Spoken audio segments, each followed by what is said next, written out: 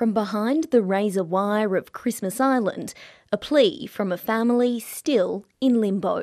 Try to stay positive and hope that the minister will let us go back to Biloela. Priya Nades and their two Australian born daughters have spent almost three years in immigration detention after they were taken from their Biloela home in 2018.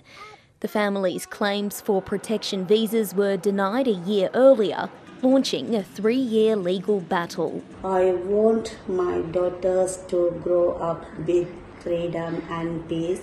The federal court last year ruled the youngest daughter, Tharnicaa, had not been afforded procedural fairness in her protection visa application.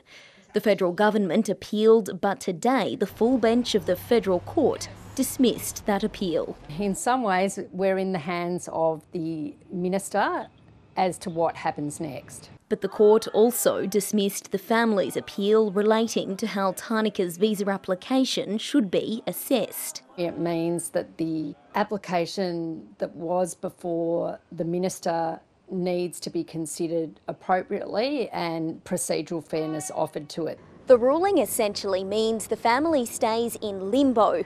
Their lawyers and supporters are pleading with authorities to release them from detention while all legal avenues are pursued, a process that could take years. Biloela is not giving up, calling for compassion from Canberra. This family should be given special consideration by the Minister, which he has the power to do, to come home and live their lives in Biloela. The Department of Home Affairs says it's considering the decision, but maintains multiple courts have found the family is not owed protection and reiterates government policy anyone attempting illegal maritime travel won't be settled here. Rachel McGee, ABC News.